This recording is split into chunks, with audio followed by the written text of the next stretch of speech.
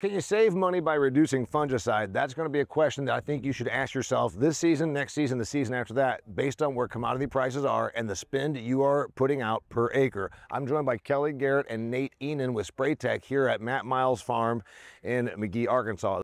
You said there's a real strong economic argument being made about we have used fungicide maybe too gratuitously. We've put it out there. We know it's a preventive. You called it a defensive uh, measure maybe we're spending money unnecessarily and there's other products like Full-Tech from these guys that can reduce that spend.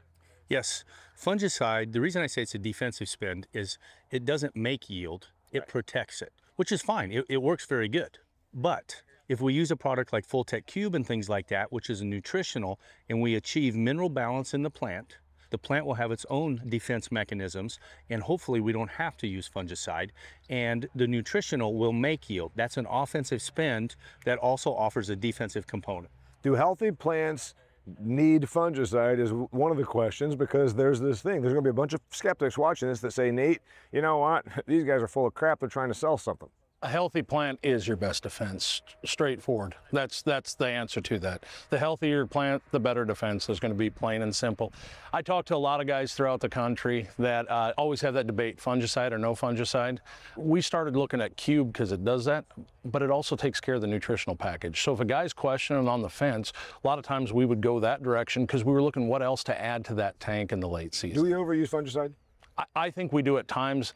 Uh, I think there's a time that a good time to protect your plant and it needs to be there. I mean, I, I think we'd still need fungicide at times. I'm not the farmer you are. I asked a question uh, in an interview that I did about the spend, and I said the cheapest fungicide pass, just product, 10 bucks. Cheapest fungicide pass on the Premier Cadillac products, 24 bucks. Does that sound reasonable? Yes, it does. If I use a different method, I can save easily 10, maybe 24 bucks. Absolutely, you can.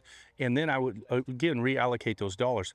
Make a micronutrient pass. Yep. Try to achieve mineral balance in your plants, which will raise the Brix score. There's your natural defense. Again, you don't need that defensive spend, and you're making